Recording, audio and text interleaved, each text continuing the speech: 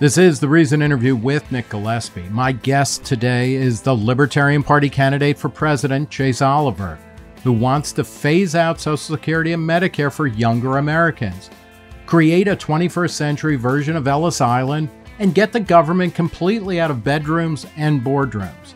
A longtime anti war activist, he also wants to bring American troops home and slash the Pentagon's budget.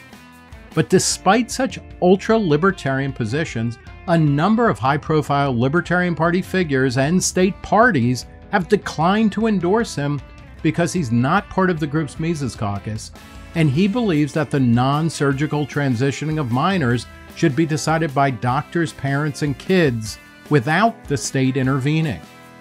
I talked with Chase about his opposition to mask and vaccine mandates, which has often been totally misrepresented by his critics, how he first encountered the Libertarian Party at a gay pride event, and whether he's encountered homophobia among the LP faithful, and why he thinks millennials and Zoomers are particularly ready to listen to libertarian ideas after constantly being lied to by boomers like Donald Trump, Kamala Harris, and RFK Jr. Here is the Reason interview with Chase Oliver.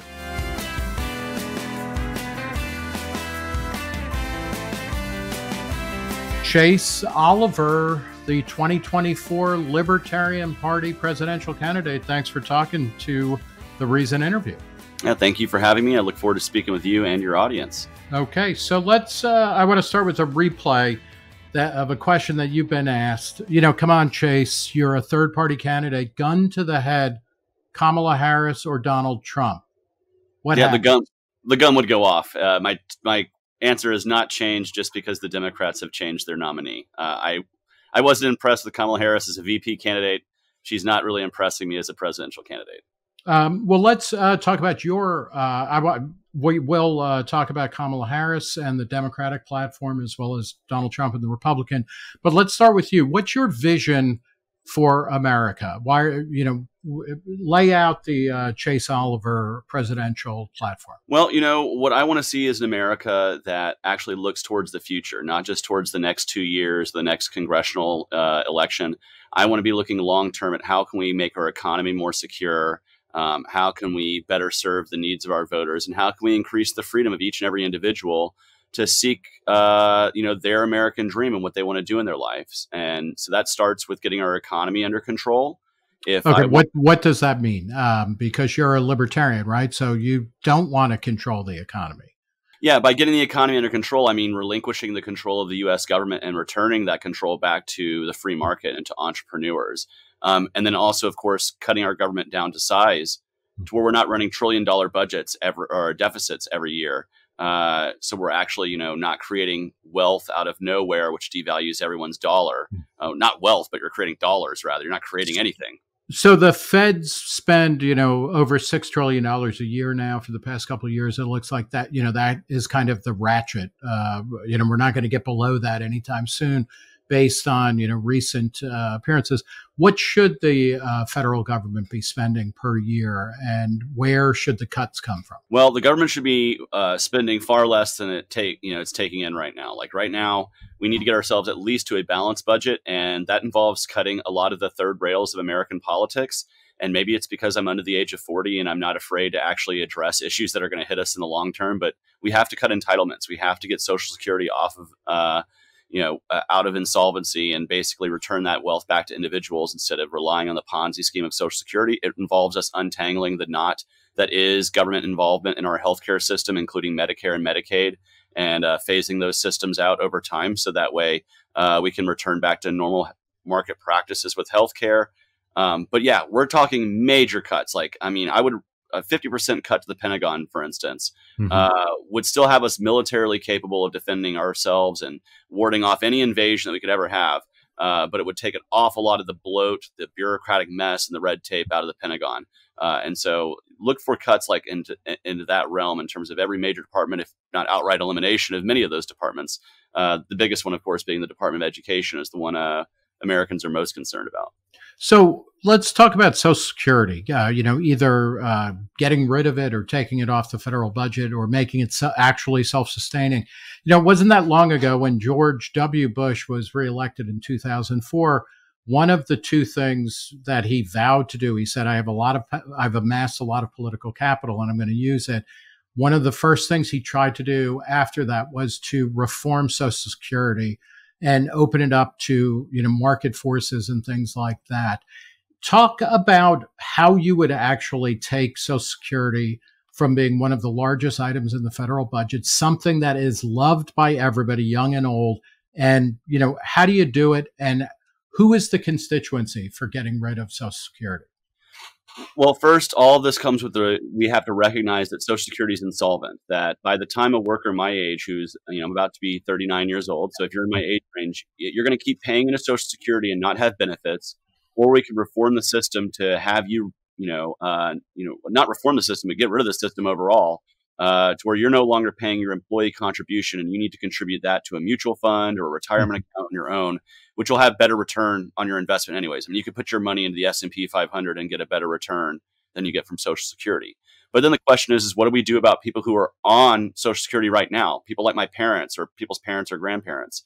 Uh, you keep the system solvent long enough for that last generation to retire, uh, and you do that by keeping the employer contribution long enough to hold the system and you know solvent long enough for that last generation to retire. But once they retire, we sundown the system entirely. We remove the system from our lives and return that back to individuals being able to save for themselves and their families.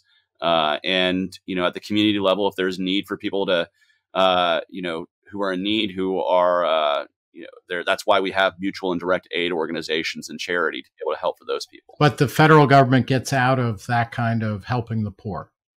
Yes, the federal government shouldn't be our retirement planner. They shouldn't be somebody who uh, squirrels away our money. And of course, they don't ever squirrel it away. They actually depleted the Social Security Trust Fund multiple times. All that's left in that trust fund is IOUs and deficit and debt spending. How is this playing with with younger people? Because you know, as I mentioned, George W. Bush, who's a boomer, in 2004 he was saying you know we got to change the system it's screwed up we got to let people get out of it somehow or, or let them make more money um, that is no longer on the table politically. Uh, donald trump and kamala harris republicans and democrats never talk about social security reform. Are, are you is that landing with people uh, your age and younger or are they also kind of like hey i don't want i don't want my parents to go hungry or grandparents and i also don't want to be paying for them. I don't want them to move in with me, assuming I eventually inherit their house, blah, blah, blah, or something like that. Yeah, so this is why what we want to see is an orderly transition away from the program. Like I said, I don't want my parents and grandparents, you know, and your grandparents to have to go off of uh, people's, uh, you know, what they've been dependent on, what they've paid into their entire life. But younger workers like myself do recognize the need that they're not going to have Social Security whether they pay into it or not. And so offering them the alternative of not having to pay into the system and investing in their own retirement is very attractive certainly for millennials who they can do the math. They can see that this is not going to be something that's going to be solvent by the time they're needing it. And so, yeah, we want to keep it solvent long enough for those in need, our parents and grandparents. But for our generation, we just recognize we're going to have to work harder because our the past generations have already debt spent us into a mm-hmm. hole that we're going to have to dig ourselves out of. And millennials recognize this. Maybe that's why we're a pessimistic generation sometimes, uh, but it's well earned talk about uh, Medicare and Medicaid. These are the major, you know, Medicare is fully funded by the federal government. Medicare, uh, Medicaid rather, which goes to the states and and supports people at or near the uh, poverty level, although that's been expanded over time. Um, how do you how do you unwind that? Because this is also something when she was running for president in 2020, uh, Kamala Harris said she favored Medicare for all, which is a big, uh, you know, plan that Bernie Sanders and uh, many people on the left end of the political spectrum uh, in the Democratic Party push. Uh, when Donald Trump, he was elected promising that he was going to repeal and replace Obamacare. He did nothing of the sort. The Republicans, you know, they caught the car and they did nothing. Um, ultimately, they pulled away the individual, the tax or a fine for the individual mandate, but they didn't reform anything. How do you take us out of Medicare spending and Medicaid spending?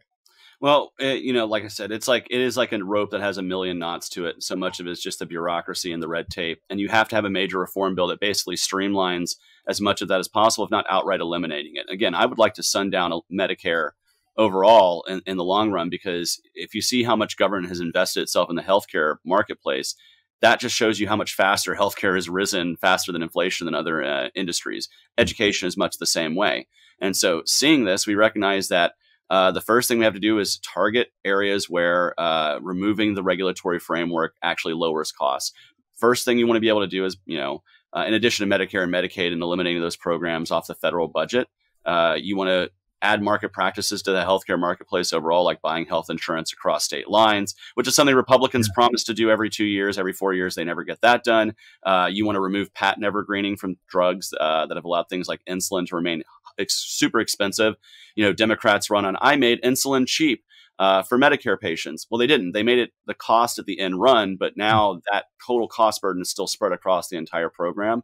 So if you were to remove patent evergreen, you would actually lower the cost of drugs which would lower the cost of some of this program. But overall, it's like trying to bail out of a ship that's sinking. Like yeah. there's just not enough buckets. You eventually have to let the ship of Medicare sink.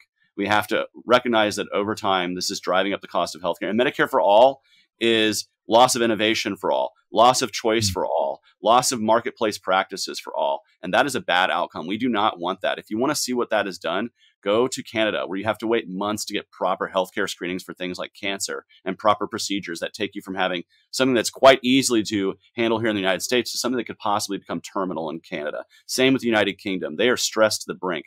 We do not need those kinds of practices here in the United States. We need to return ourselves to free market practices. Uh, but again, that's not something that can just be easily done. That is going to be mm-hmm. a bill that is going to be many hundreds or if not thousands of pages because we didn't get here with a single page bill that created Medicare.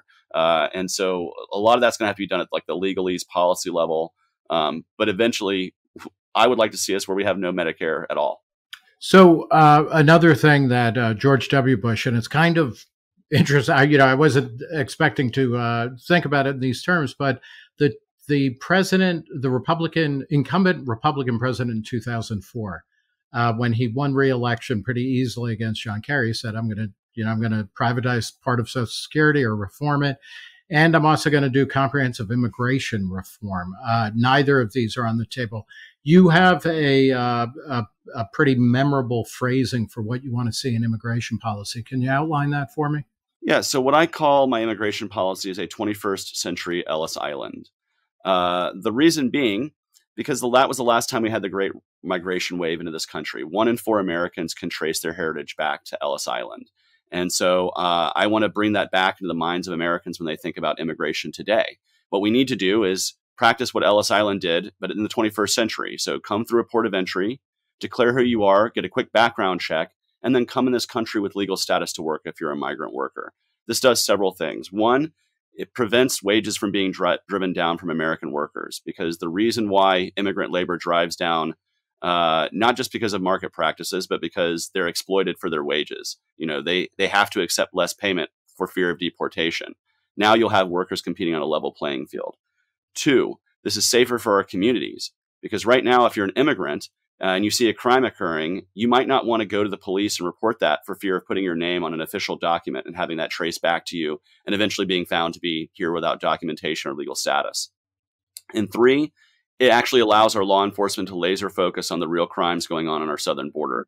Things like human trafficking for the purposes of labor or sexual exploitation, or for people who fraud people by taking fentanyl and pressing them to look like Xanax pills that's fraud. I'm a free, you know, I'm a I'm a libertarian. Yeah. I want to legalize all drugs, but to to fraud somebody and cause overdoses is a real crime as well. And so, if people are, are who want to just come here to work can legally pass the report of entry, we can really focus on those who are wanting to do harm in the United so there's, States. There's no limit on the number of people who could come into the country at a you know in a given year as long as they pass a kind of like medical check and a and a criminal background check. Yeah, exactly. The market can determine exactly how many jobs we need to have, you know, mm-hmm. the labor pool we need to have.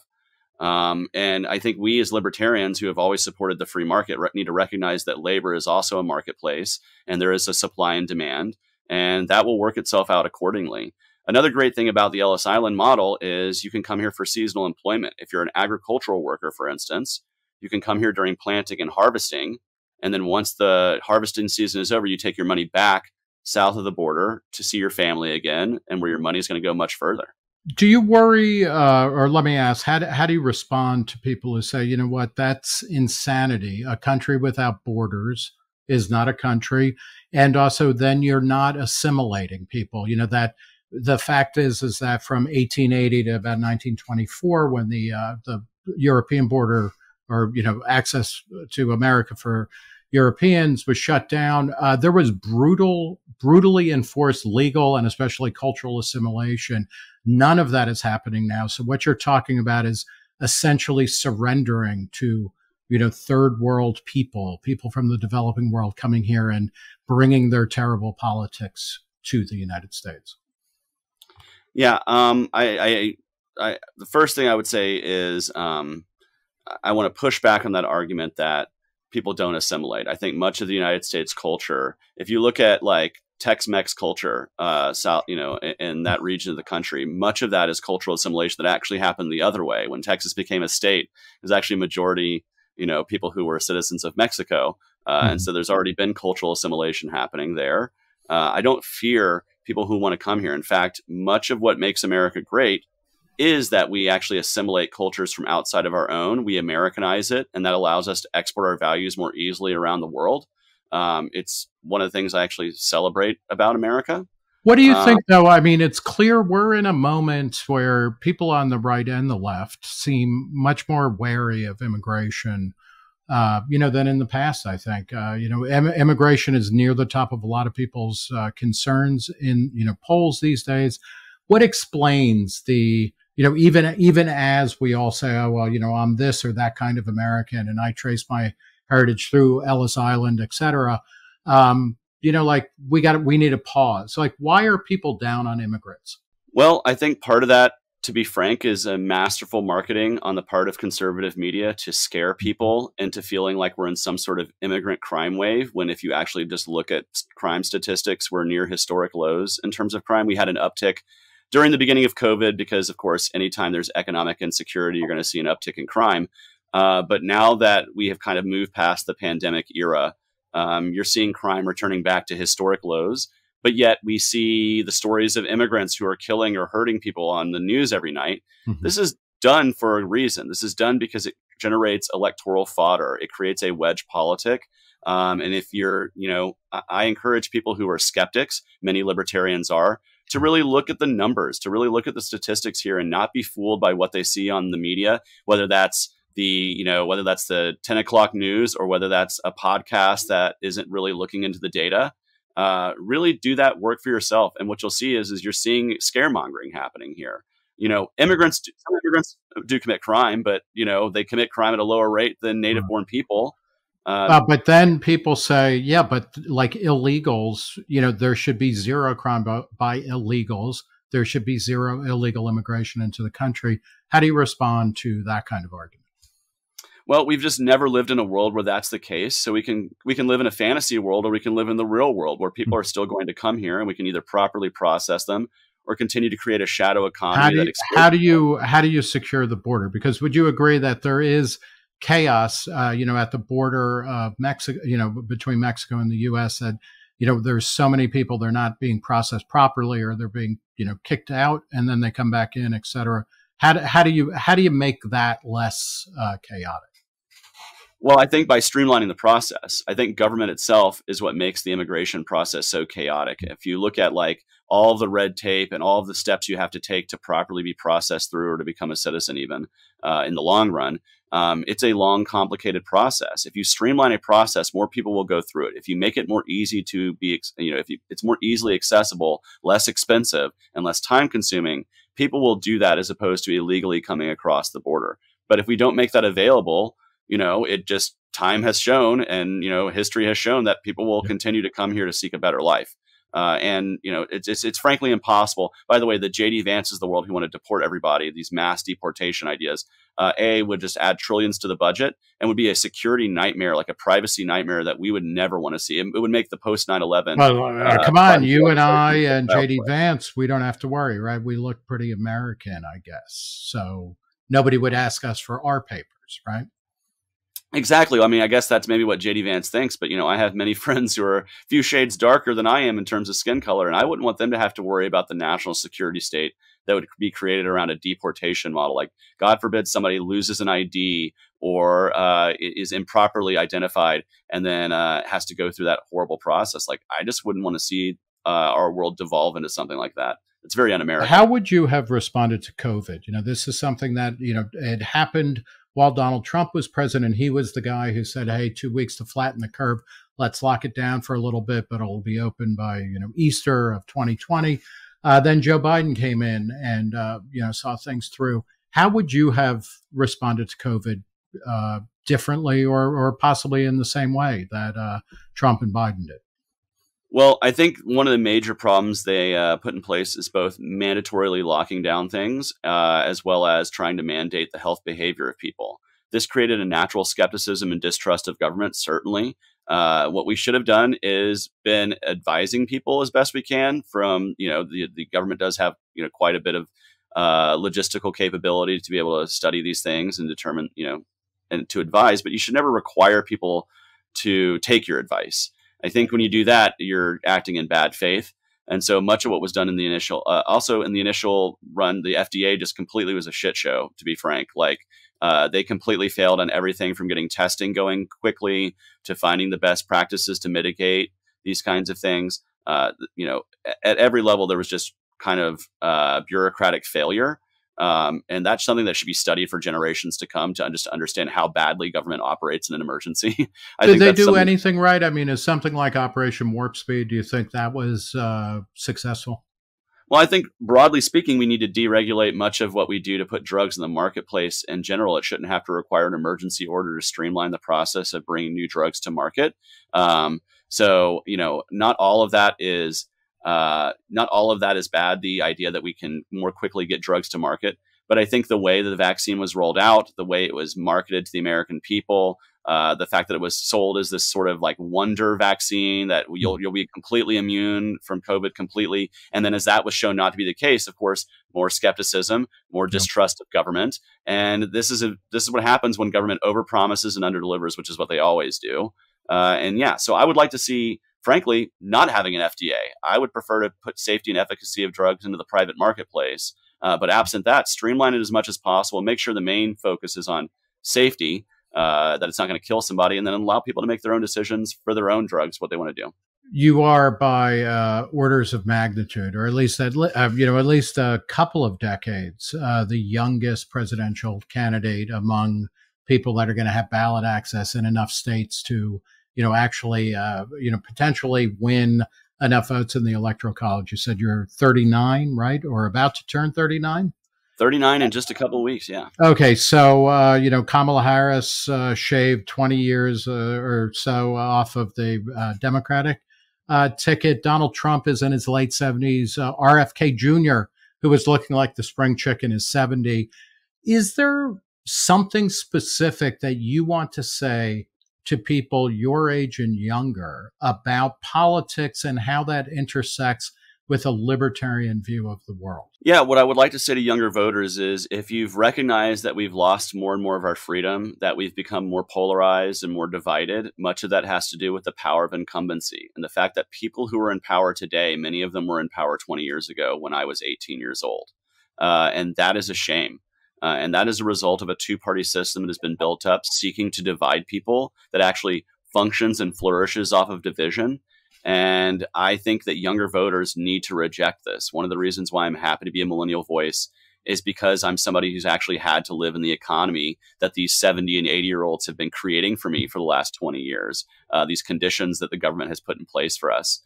And so I think it's really important as a libertarian to be a younger voice and to be a newer voice that can reject the politics of old in favor of something that's positive that we can seek to look for and, and be positive about growing into over the next 30 or 40 years.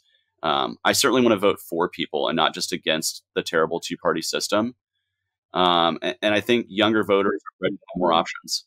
Let's, uh, before we go back to more positive stuff about you and your platform, let's talk, let's go negative here a little bit what is terrible or what is wrong with Kamala Harris and the Democratic Party ticket, whoever her VP ends up being, you know, that it's no better than what Joe Biden was offering?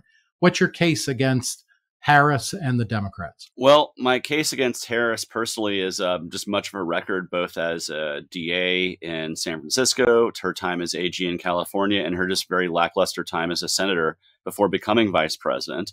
Uh, if you look at her time as DA in San Francisco, she put a lot of good people in jail for uh, the crime of consuming cannabis, while she even admitted on the Breakfast Club that she was a mm-hmm. user of cannabis. Uh, she laughed about wanting to jail truant par- or parents of truant students as if jailing the parents of kids who are skipping school is going to make their education outcomes better. Uh, she was just generally uncaring when it came to uh, being the AG and keeping people in prison past their sentences so they could maintain volunteer firefighters with the prison firefighters.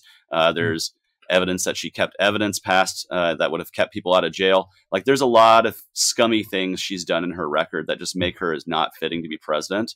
Um, and then just generally, the Democratic Party is a party that is a big spending party. That every problem they have, there needs to be a government solution. Um, I think they exacerbate a lot of the uh, ish social issues that we're seeing in a way that's not productive.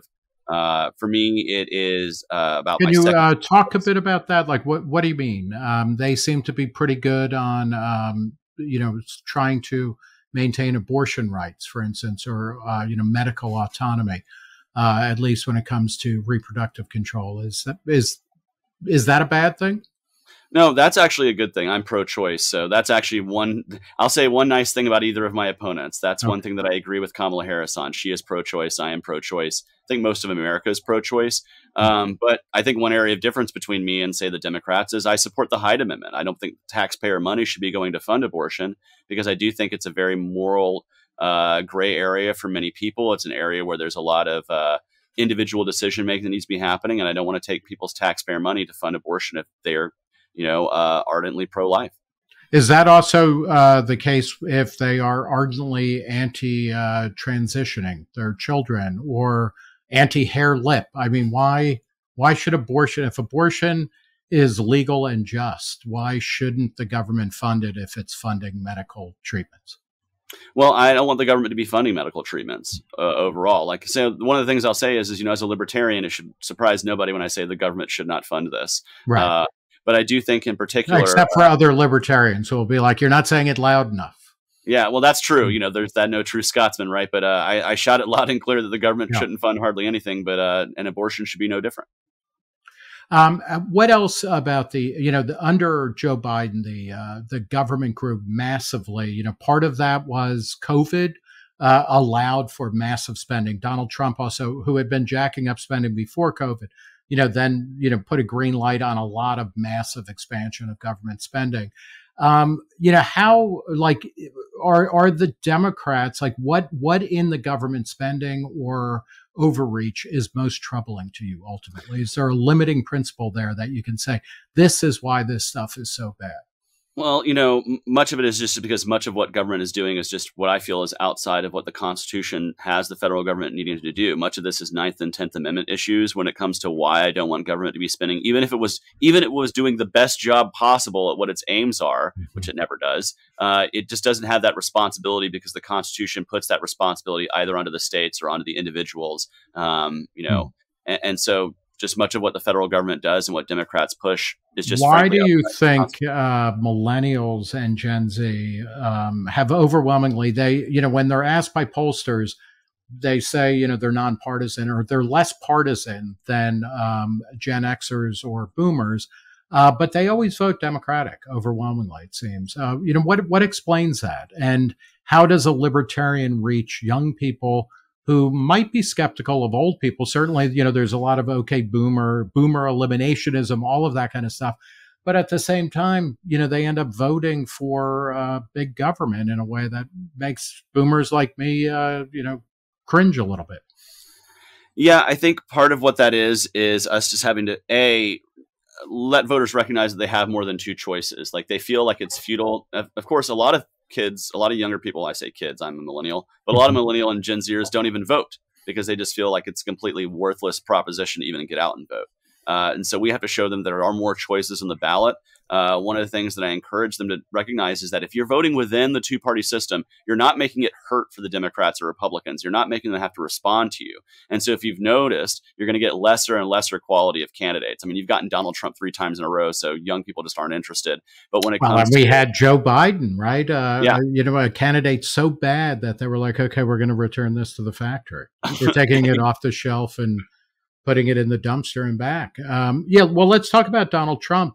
What what is um, you know what what's your main case against Donald Trump and the GOP in 2024? Well, you know, whereas I find the Democrats to be kind of the stale politics of old and just kind of continuing the bad politics that I've seen my entire life.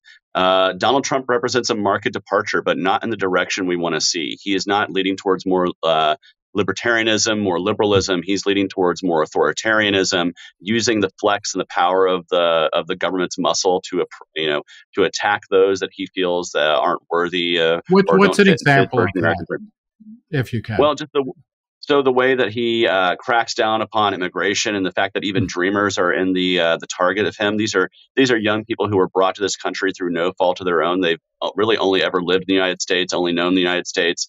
Uh, but much of the rhetoric that comes out of the Republican Party is very much against them, and uh, they are they are much in the sights of the people who were holding those mass deportation now signs at the RNC. Yeah. What um you know what do you think of JD Vance? We uh, you know while we're speaking, we don't know who Kamala Harris's VP is, but um uh, you know, but JD Vance was announced to uh, pretty good acclaim at the Republican National Convention. Since then, you know, he's kind of been going down the tubes. But JD Vance is basically your age. Um, you know, what's what's wrong with JD Vance, and what does he say about the possible future of the Republican Party? First off, I think J.D. Vance is kind of self-serving, considering he called Donald Trump cultural heroin and America's Hitler, you know, those kinds of things. And so it's clear to me that he's just a standard politician that will fall right in line with Donald Trump uh, if it suits him and gives him power, which is much of what's wrong with the Republican Party. We do need more people in the Republican Party to actually challenge the illiberal notions of Donald Trump. Uh, but in general, like much of the rhetoric that has come uh, from JD Vance is really worrying for me because, again, when it talks about using that federal muscle, he doesn't want to eliminate the administrative state. He wants to seize it and use it for himself. You know, he hmm. wants to remove the bodily autonomy rights of everyone across the country with, with in terms of abortion.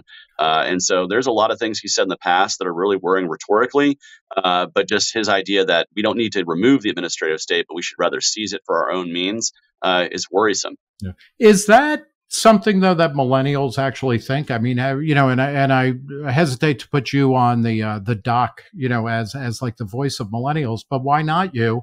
You're the only presidential candidate who's running who is a millennial, and you know, our our people in your cohort, you know, they've you've grown up. You know, all of the 21st century has just been a decline in trust and confidence in all institutions across, you know, in, in every aspect of our lives. And why wouldn't you just say, you know what, this is a shit system. Uh, I might as well take control of the institutions of power and then use them to get what I want or what I need because it's not like the other people are going to be doing anything differently. Well, you know, as the spokesperson for all millennials, uh, mm. I'm just kidding, but uh, you know, I, I, can understand that base instinct, right? That base instinct of, well, let me just take it for myself and fix it. Uh, but what we have to understand and what we have to recognize as a generation is that much of the problems we see are caused by problems that are unfixable. That the, the, the, problem themselves is the government being involved in this process and the government trying to control uh, the marketplace, trying to con- control the decision making that people make, trying to control the culture. Uh, these are things I think government needs to take a step back from and allow, you know, organically to happen in the free marketplace of ideas. That's its own free market. Now, that's something that has put you at odds even with other libertarians. Um, and I, I will talk about your biography, I guess, in a second, but let's talk about your relationship with the Libertarian Party. Um, when you were, when you won the nomination uh, at the Libertarian National Convention in, uh, in uh, Washington, D.C., a number of high profile people uh, who were affiliated with the Mises Caucus faction within the Libertarian Party said, Hey, you know what? Congrats on the win, but we can't support you.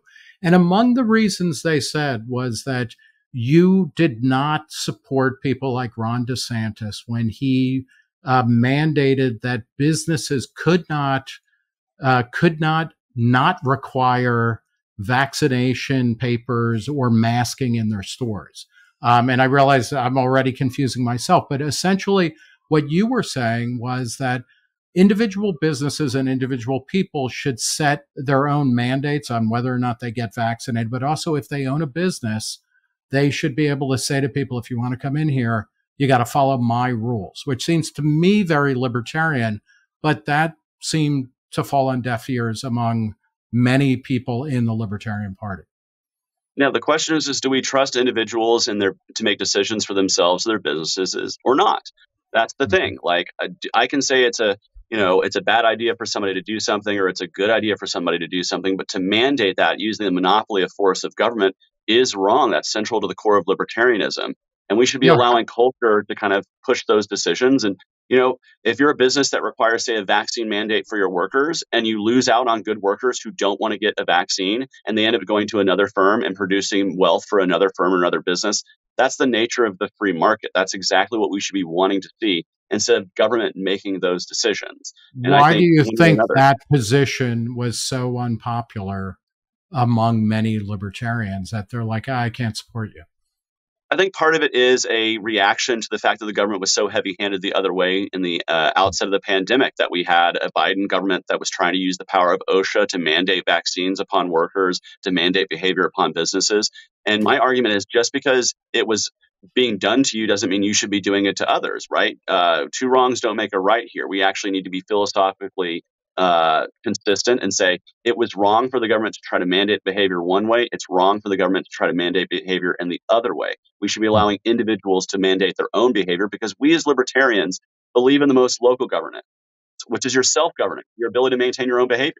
Before we continue with the Reason interview with Nick Gillespie, I want to tell you about today's sponsor, Students for Liberty. Are you a freedom loving college student seeking a platform to amplify your voice? Then you need to check out Students for Liberty, a global hub for liberty loving students like you.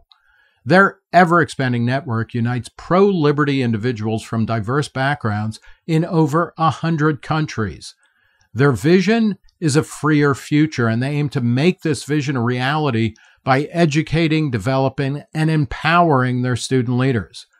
It's important for the students who participate to not only understand the operations of Students for Liberty, but also believe in the purpose of the group and become enthusiastic agents of change in their communities.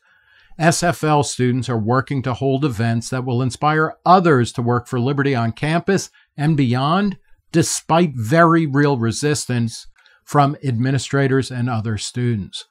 Their alumni are working across industries, taking their ideas into think tanks and public office, and planting the seeds of liberty in their everyday lives. Empower yourself and others to champion freedom. Visit studentsforliberty.org to discover how you can join their movement and contribute to building a better future, a freer future. That's studentsforliberty.org.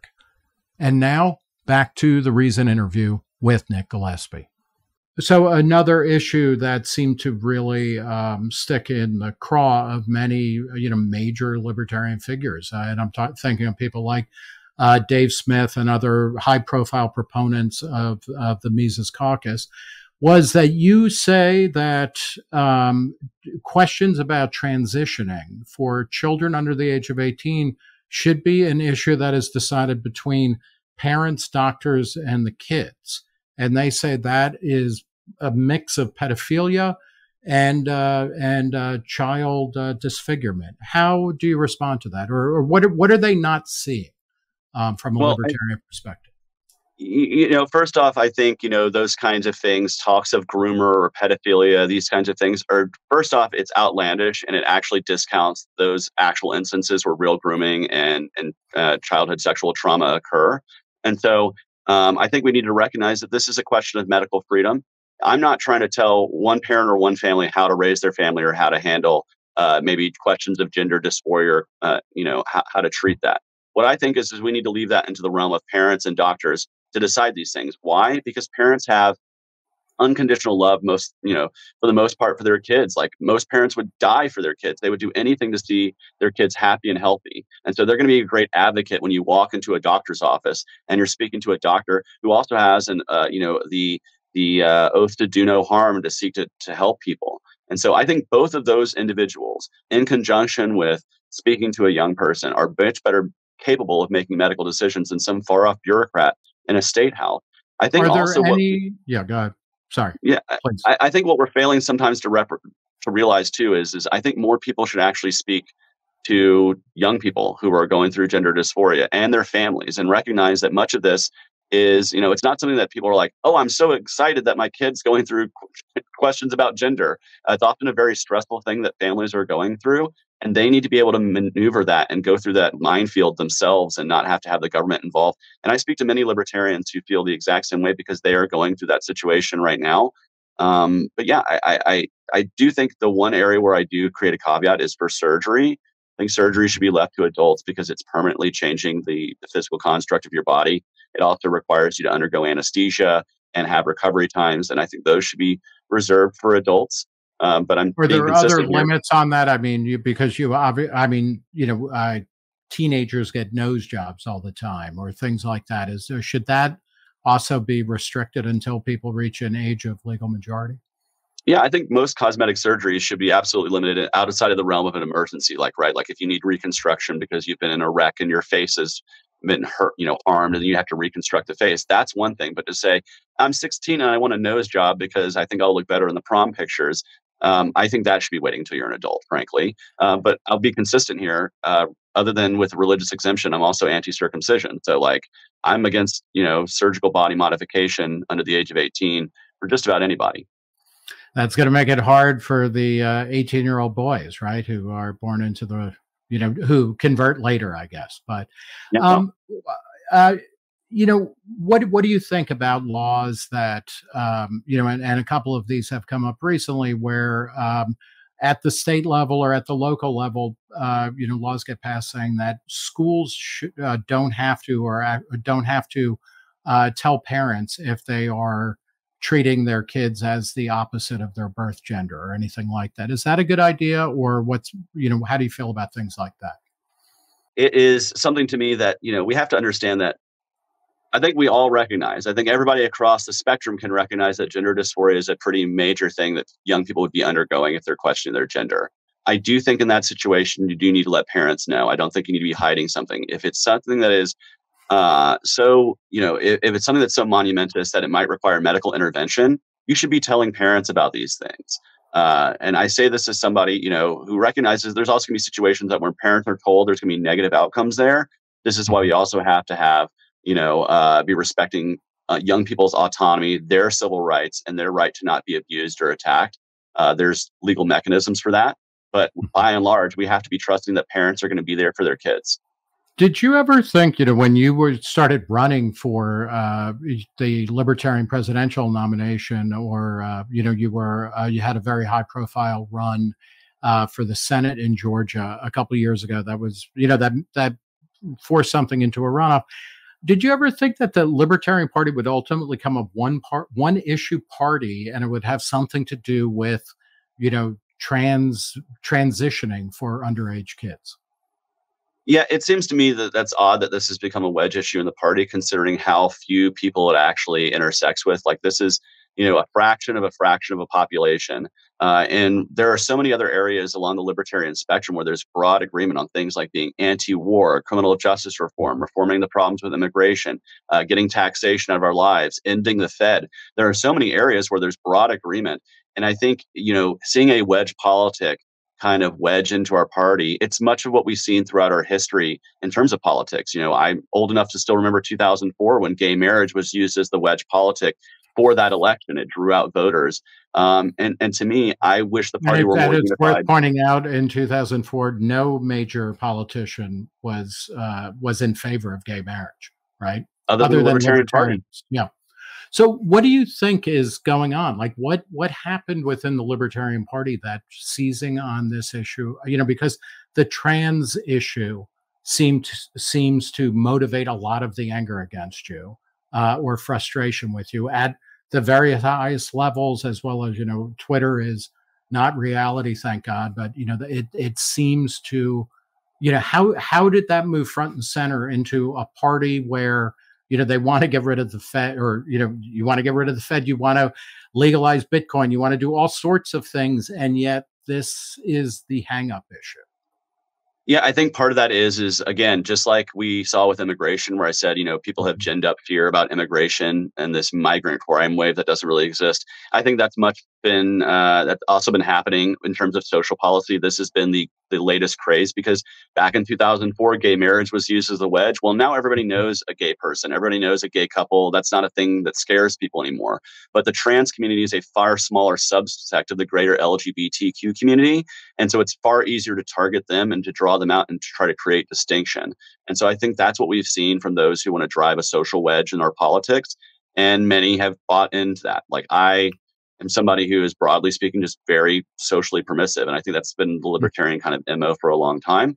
Uh, but I also think part of this is, hey, I'm also, in addition to being the first millennial candidate for president, I'm also the first LGBTQ candidate that has existed on nearly every ballot across the country. Openly, I, I, think openly LGBT. Openly, yeah, right. Yeah, we're not talking about James Buchanan or anything, but uh, you know, but openly and, and i think that is also going to draw many of those questions to me just naturally um, i imagine you know barack obama got a lot of questions about race relations for mm-hmm. instance when he was running as the first major african american candidate on a ticket so uh, I, I imagine that's probably why i get some of these questions and why some of these divisions exist also it, we had a very hard fought primary and a lot of mm-hmm. people try to use that as a distinguishing policy and they've continued to do that post uh, nomination which you know i think is to the detriment of our party yeah, are you disappointed that there seems to be a fair amount? Uh, forget about the trans issue, but just kind of open homophobia within Libertarian Party ranks, or have you experienced that? Um, you know, not many more than I have in like the general public. There have always been times when I've uncovered homophobia, both you know, just people trying to be jerks online or being critical. Mm-hmm. But of course, there are people who just have legitimate like real they have just not experienced being around gay people and they're just they're socially conditioned to feel you know however they feel. Um, all I can do is continue to be somebody who's going to be out there, being you know uh, as, as friendly to people as possible, always extending my hand, trying to break the notion that we're somehow something to be afraid of, or that we're going to lead to the downfall of society. Um, but yeah, I mean, I've experienced homophobia in pretty much every political circle I've run in. It's uncomfortable everywhere where it occurs, and frankly, it reduces your argument. Like if you come to me with just rank homophobia, I'm just less likely to even want to engage or really have any kind of intellectual discussion because you're starting on a place that is just, you know, frankly hateful. Yeah. Um, the Libertarian Party, the National Party, has entered into a fundraising agreement with Robert F. Kennedy Jr., the independent candidate, who, in a tweet, and you know the LP isn't responsible for this, but he talked about the Libertarian Party or the LNC as being nonpartisan. This does seem to be odd. The head of the Libertarian Party, Angela McArdle, has openly talked about how the strategy of the LP in this election is to, you know, get rid of Biden, to make sure that Biden doesn't win so that Trump wins. And I assume that'll be updated to, uh, refl- you know, uh, to talk about Kamala Harris. Um, how do you feel about that fundraising um, agreement and the idea that the LP is not even explicitly pushing you as the candidate, you know, as to get on the stage and to win the debates or win the uh, the election. Yeah, of course, I would much rather the LNC be joining my campaign to try to raise money for the Libertarian candidate and Libertarian campaign. Uh, so I'm kind of a, just based, you know, against uh, my party fundraising for one of my opponents. Uh, and I completely separate myself from that. I'm staying completely out of that whole discussion because, frankly, I don't want to get involved in tying myself into that knot.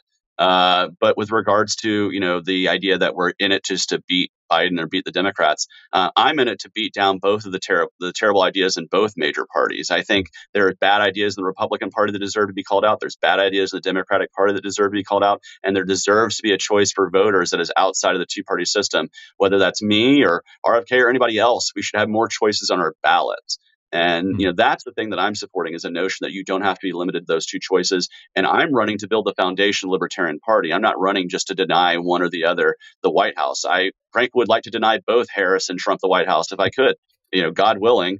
Uh, and you know that's and and I would like to inhabit the White House to be able to you know start a very libertarian hmm. revolution in 2025. But uh, do you have a message that, for the members of the Mises Caucus or the uh, LP National Committee um, that might get them to be like, well, what are we thinking? We should be supporting Chase Oliver for president. All I can say is that I've been consistently libertarian in my philosophy, in my practice. I've been somebody who's worked for, to the betterment of the Libertarian Party for the last mm-hmm. 10 years since I've been a party member. I've served on my state's executive committee. I've served on the boards for uh, libertarian nonprofits that have sought to spread the libertarian message to communities that aren't hearing it. I've served as the chair of a local affiliate, and I've helped raise thousands of dollars to, to feed the homeless in Atlanta using the Libertarian Party of Atlanta as the mechanism to do that, which was a great practice to do. I've uh, fought for, you know, I've participated in conventions. I've been involved in the party structurally for a long time. I'm somebody who's invested in this party because I know this is the best vehicle for success. And I hope that those who are listening to this, who maybe have hurt feelings from convention or have differences of opinion with me on some policies, can recognize that on the whole, our platform and our prescription is the most libertarian, is the most bold in terms of the direction of freedom. And it's the one we should be supporting. We should be coming together. And frankly, I would be coming together for whomever the nominee was if it wasn't me, because I care about the Libertarian Party, and in particular in my state of Georgia, where ballot access is dependent upon the success of this ticket. And we need to be supporting the success of this ticket everywhere in every state as much as possible to grow our party, to grow our message. Because this is not just about Chase Oliver in 2024. This is about the Libertarian Party going forward from here. How can we grow into the next generation? And for those who maybe uh, you know have skepticism about being LGBTQ or those attitudes, I welcome the conversation one on one with me. Let's have a conversation. Let's talk. I've done this many times, but I want to encourage them to recognize that the next generation Gen Z 30% of that generation identifies as LGBTQ, and 90% of that generation is broadly supportive of people being allowed to be who they want to be. And so, if we want to grow and survive with the times, we need to recognize this. What do you, uh, before I want to go to some biographical information, but when you say, you know, 30% of Gen Z says that they are LGBTQ uh, plus, actually, what does that possibly mean? I mean, is what is going on um, in kind of sexual identification that uh, you know you would have fairly narrow bands of people saying you know they're uh, lesbian or gay or bi to suddenly you know uh, almost it seems like a plurality of uh, of Gen Z. Is that does that reflect actual sexual desire or is something else going on there I think what that reflects is people are more comfortable in their own skin because the largest growth group of that is bisexuality, is people who identify as uh, being attracted to both sexes, which I think, you know, 30 or 40 years ago, somebody might have just said, well, I'm straight just because it's easier and it's, you know, much easier to blend into the greater society. But as people have been more comfortable themselves, they're more comfortable identifying as who they actually are. This isn't some sort of like the, the chemicals in the water aren't turning people gay or anything. Right. It's it's more of that people are comfortable culturally in their own it, skin and it's not that people are trying to get clout or be cool because it's like suddenly you know being even being you know merely homosexual or merely lesbian just eh you know in a, in a world of rapidly proliferating identity politics that's that just doesn't get you uh, very far I don't, I don't think the statistics bear that out, considering the largest uh, group, even among those Gen Zers, are the L, the G, and the B part of that. Uh, mm-hmm. And so for me, you know, I think it's just a matter kids, you know, young people are more comfortable in their own skin. And I'll use an example. I have a nephew who's in his early 20s and he came out as bisexual and he, you know, he expressed that. And he said one of the reasons was as that he saw people being comfortable in their own skin. So he felt like he could be comfortable in his own skin. I think that's a good thing for people to be able to express themselves as they see fit. Uh, and, and, for me, that's what is really driving this. It's not, you know, uh, and and we can talk about all sorts of other things, but for me, that's what I think we're seeing here. And that's why we need to be broadly more permissive to let people just live who they want to be, man. Like, be who you want to be. Like, that's really what the mm-hmm. libertarian mantra should be. Keep the government out of it, keep force out of it, keep violence out of it. And let's just like live free with each other. And if you want to live a more traditional life, do that. If you want to live uh, outside of the box, hey, do that. Just don't hurt me and don't steal my stuff when you try to do it. Let's talk a little bit about you. You said, you know, you got involved with the LP about a decade ago. Before that, you were uh, on the left side of the political spectrum, uh, and you were primarily uh, you got in, activated into politics because of anti-war stuff. Can you talk a bit about how you became interested in politics and how that ended up uh, at the libertarian end of things. Yeah, so um, my parents can tell you that I've always been really kind of a political junkie, even when I was little. Like I always liked to watch speeches and things like that. Like I always enjoyed watching election night coverage. Uh, but what really got me involved as an activist in politics was 9 11 had happened and I saw the war mm-hmm. starting. And really, what really ignited me I mean, I was already skeptical when we started the war in Afghanistan, but what really ignited my skepticism in becoming an anti war activist was the war in Iraq that was churning up and seeing that the CIA was manipulating and cherry picking intelligence to create this case for war that just really wasn't realistic or there. Uh, there was no mm-hmm. there there. Uh, and that outraged me and that got me involved because I saw so many people in my generation going to go fight and possibly die in a war, and thousands did, uh, that should have never been fought in the first place. Uh, and because George Bush was the Republican per, you know, prosecuting that war, uh, I just kind of reflexively, because like many voters, they only think there's really two choices. I just kind of fell in line with Democrats. And even though I, you know, there there have always been things like orthodoxies that Democrats have not liked about me. Like I've always liked guns. Uh, I've always mm-hmm. hated taxes and been kind of a free market guy. Uh, but because they were anti-war, uh, because they were pro-LGBT, I was like, okay, this is where I belong. And uh, and then in the primary in 2008, we had Hillary Clinton, who was like Dick Cheney in a pantsuit, and we had Barack Obama, who was saying all this stuff about ending wars and closing Guantanamo, and oh, I'm going to meet with the leaders of Iran without precondition. And that sounded very attractive to the anti-war movement. And so a lot of us fought really hard to help him win that primary and, and eventually help him win that election. And then he did none of it. And and then got a Nobel Peace Prize for doing none of it. And right. that outraged me and it pushed me out. And I kind of started identifying in about 2010 as an independent, you know, squishy Democrat voting independent at the time. Uh, and I was at the Libert or I was at the uh, Pride Festival in Atlanta in 2010. And that's where I met the Libertarian Party of Georgia. That's where I first got introduced to the Libertarian Party. And they were like, no, we're the real anti war party. These are the people you need to roll with because our anti war position is principled in the ideas of non aggression. Uh, and also, by the way, if you haven't noticed, we're here because we think you should be able to love who you want to love. And that mm. earned that candidate for governor, John Monds, my first libertarian vote. And I have voted libertarian in every major election since. Uh, But it wasn't until 2014 I fully made the jump and started paying the dues and becoming a libertarian party member. Can you uh, outline outline your preferred foreign policy? Uh, my preferred foreign policy is one that we are exporting our values via voluntary trade and exchange and not using militarism. And so I would seek to basically close overseas bases, remove our military footprint, uh, and bring our military back in line with its true mission, which would be defending ourselves from invasion, not exporting and going into war all over the world. Should there be? Uh, should we be? Um, should we have military allies that we pledge to support if invaded?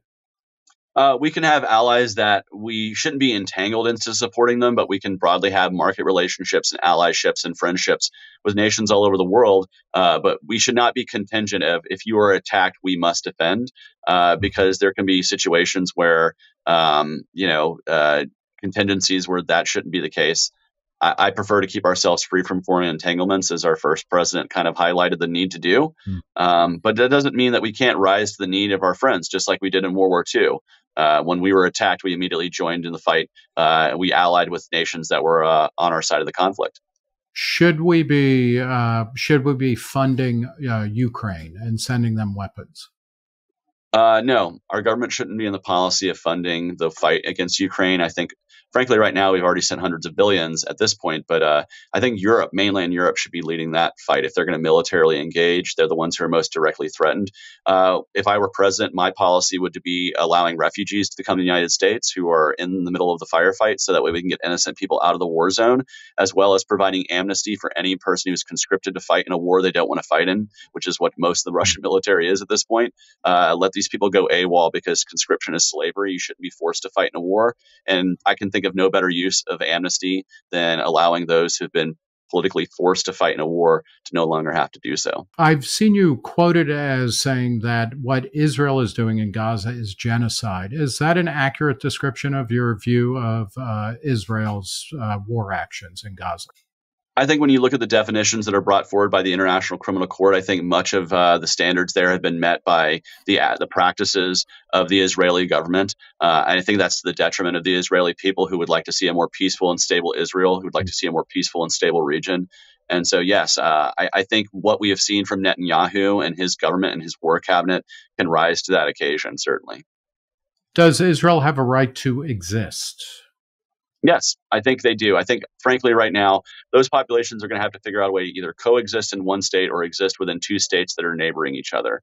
Uh, there's no way to, you know, uh, put the genie back in the bottle, so to speak. So, um, for me, yes, the people of Israel have a right to exist. Everyone has a right to exist, frankly, whether you're under one nation or another. But the people of Israel have a right to exist, but so do the people of Palestine. And whether that's existing under one state or two, uh, they need to figure out, not the United States. But yes, should we be, you know, how how might the United States, which obviously was deeply invo- has been deeply involved in the Middle East for you know decades now, and until relatively recently had you know a major present military presence in Iraq, and we still have troops stationed all over the place. Um, should that all disappear, and should we not do anything, or should we be how how how might we broker uh, you know, peace in the Middle East, or is that really not for us to be doing?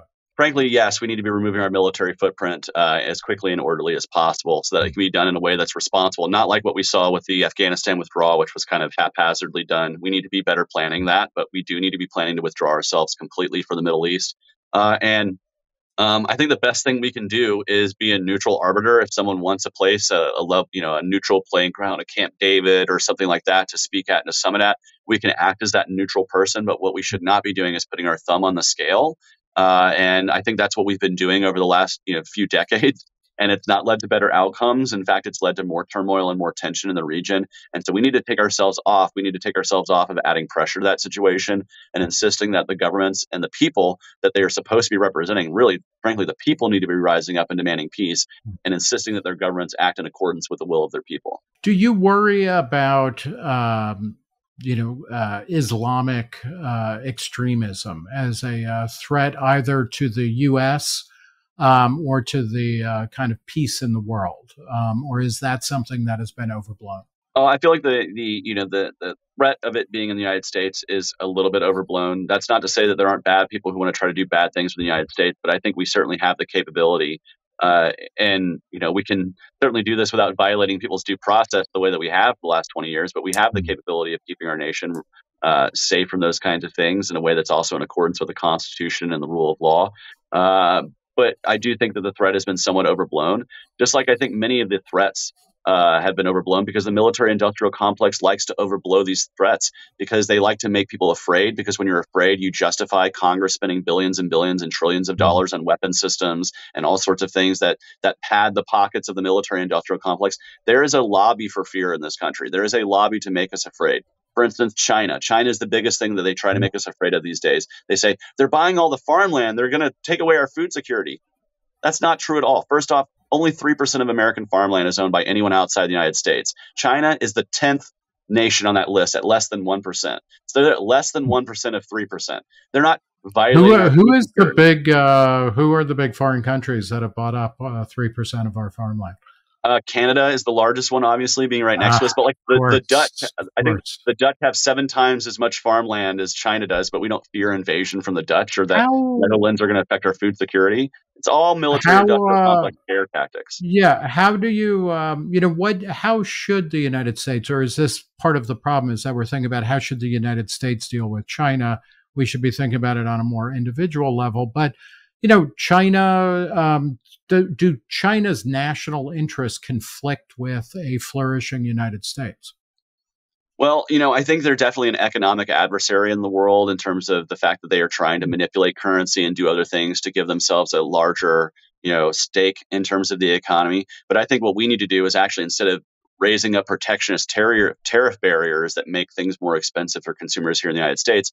We need to be calling China's bluff and continuing to engage in as much foreign trade with them as possible. Because what you're doing when you do that is you're inflating that balloon. You're making them inflate that currency manipulation balloon until eventually it will burst. Mm-hmm. Once it does, there's going to be a major recession in China, and the people of China will be hopefully requesting more market liberalism and, and less protectionism from what they've had.